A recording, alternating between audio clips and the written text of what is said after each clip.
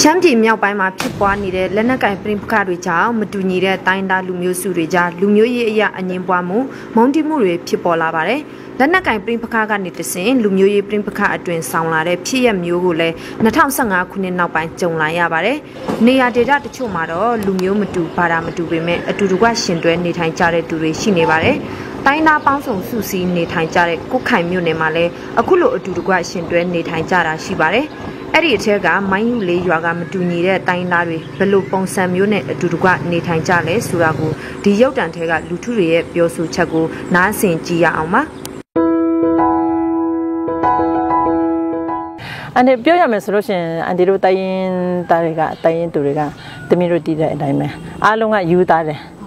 အားလုံးကချစ်ခင်ကြတယ်လူမျိုးပါတာဘယ်တော့မှမရွေးတဲ့အတွက်ကြောင့်မနော်ဒီလိုမျိုးအန်ဒီတို့ကဒီလိုပဲရှစ်ဆက်နေတာပေါ့ကျမတို့ဒီမှာကျတော့ တိုင်းရင်သားရွာတွေနဲ့ဆူဆူပေါင်းဝင်နေကြတယ်ဆိုတော့တာရေးနာရေးတွေကစားဥပမာဆိုလို့ရှိရင်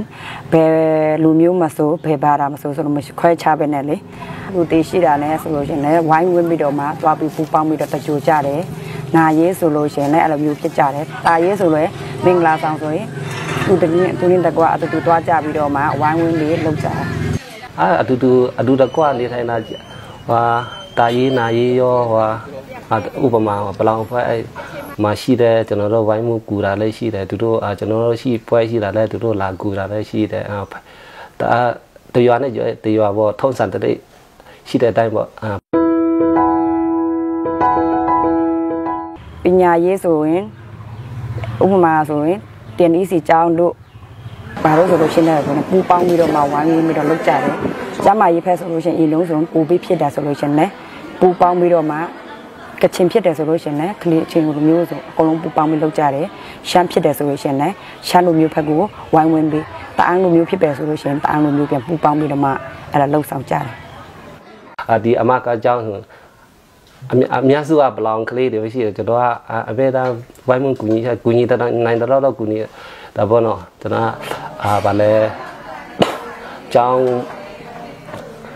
ကျောင်းကော်မတီတဲ့ကျွန်တော်နေ့ချင်းနေ့တိုင်းပါနေတာပဲဒီမှာ အန်တီတို့ကျတော့လူအပ်တဲ့နေရာမှာအဲဒီရွာမှာပေါ့ရက်ရွာမှာအဲလူအပ်တဲ့နေရာကျမရဲပဲဖြစ်ဖြစ်အဲဥပမာပေါ့အဲဘာဘာပွဲပဲဖြစ်ဖြစ်ပေါ့အဲရှမ်းပွဲပဲဖြစ်ဖြစ်အန်တီတို့ကချင်ပွဲပဲဖြစ်ဖြစ်ဘလောင်ပွဲပဲဖြစ်ဖြစ်အန်တီတို့ကျတော့ပူပေါင်းကြတယ်ဖိတ်ကြလို့ရှင်ပေါ့နော်ပူပေါင်းပြီးတော့မှအတူရှင်တွဲကြတယ်တာပြဿနာတော့ကြီးကြီးမားမားရှိနေတာရှိလာရင်တော့နော် အာဗာလဲဥက္ကဋ္ဌတီဘာတကြီးတီခေါ်ပြီးပေါ့နော်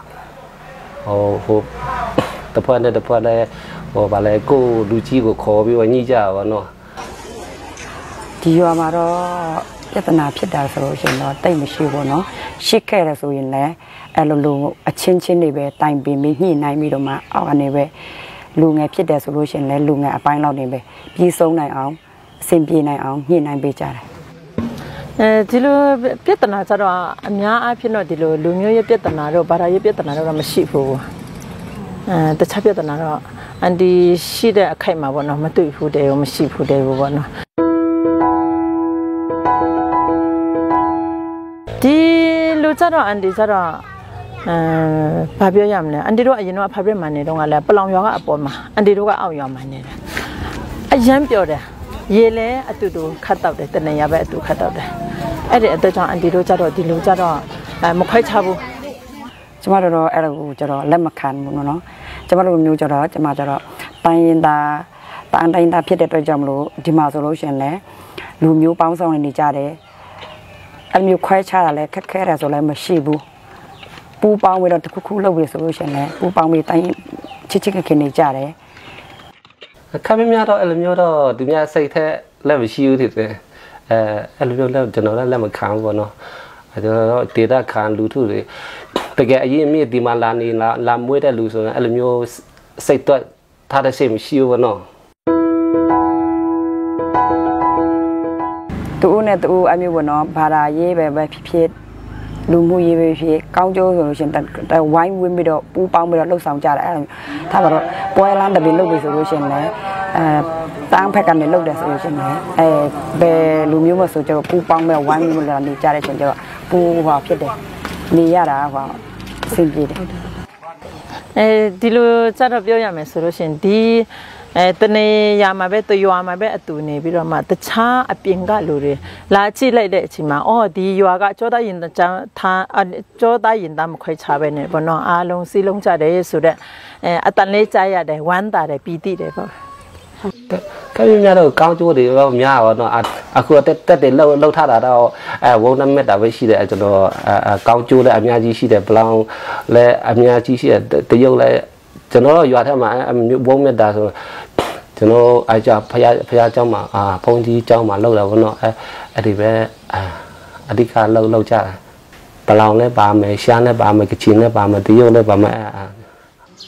ဘာသာမတူလူမျိုးမတူပေမဲ့အတူတကွရှင်တွဲနေထိုင်ရေးဟာလူမှုပတ်ဝန်းကျင်မှာအရေးကြီးတဲ့အရာဖြစ်ပါတယ်။လူသားချင်းဆိုတဲ့ဖြစ်တည်မှုကိုဒါလက်ကင်ဆွဲထားရင်ဘယ်နေရာဒေသမဆိုနေထိုင်ခြင်းစရာကောင်းပြီးတာယာငြိမ်းချမ်းတဲ့လူမှုပတ်ဝန်းကျင်ဖြစ်နေမှာဆိုတာအသေးချပါပဲ။လူမျိုးမတူဘာသာမတူတူတွေကြားအတူတကွရှင်တွဲနေထိုင်ဖို့ဘာကြောင့်အရေးကြီးတယ်လို့တင်အနေနဲ့ထင်ပါတယ်။